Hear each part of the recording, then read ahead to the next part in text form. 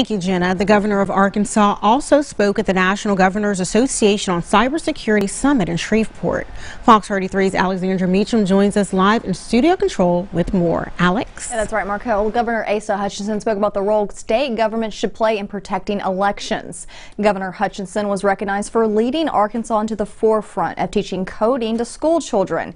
He says job opportunities of the future require more computer scientists be trained early. He says the roles of government should be focused on protecting elections from both social media propaganda and manipulation of election equipment that could change the results.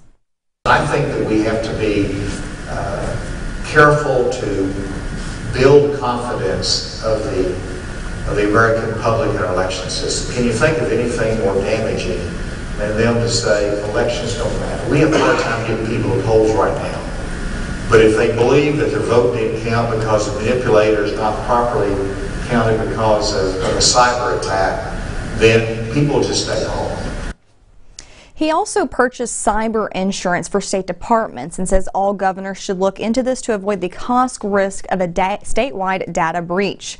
He says the threat to our election system from foreign nations it is an immediate threat to our own democracy. Back to you.